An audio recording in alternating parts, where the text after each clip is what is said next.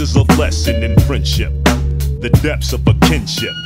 Where women and men begin with and then slip. My pen drips as I scribble my thoughts on thin strips of emotion. A fraction, seduction, attraction.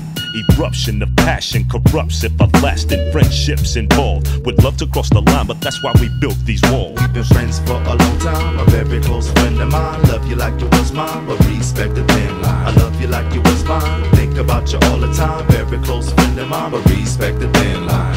Opposites attract when the female and male come in contact. Sticky situation, in fact. Trying not to let the feelings catch. But there's a thin line between both of y'all, so you respect that. And entertain the idea, but get brought back to reality. And could you really live with that?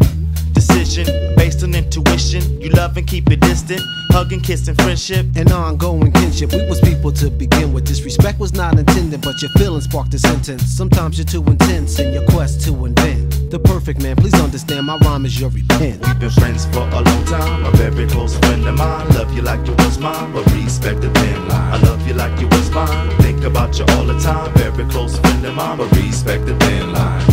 Too bad that we became friends first. And I'm not an expert on how relationships should work, but from the minute it was known, it changed the whole tone, the way we spoke on the phone. Yo, it was cool, but I felt it wasn't enough. And I was stuck when your moms would pick it up.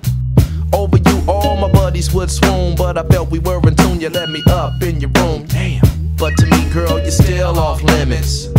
No matter all the times that I hinted. Yo, what you doing after this? Infatuation was authentic, but yo, I just pretended so I wouldn't lose the friendship. Maybe I should spill all my guts. Or write a letter, then tear it up. Or do a song just to say what's up. I want just a touch. We've been friends for a long time, a very close friend of mine. Love you like you was mine, but respect the thin line. I love you like you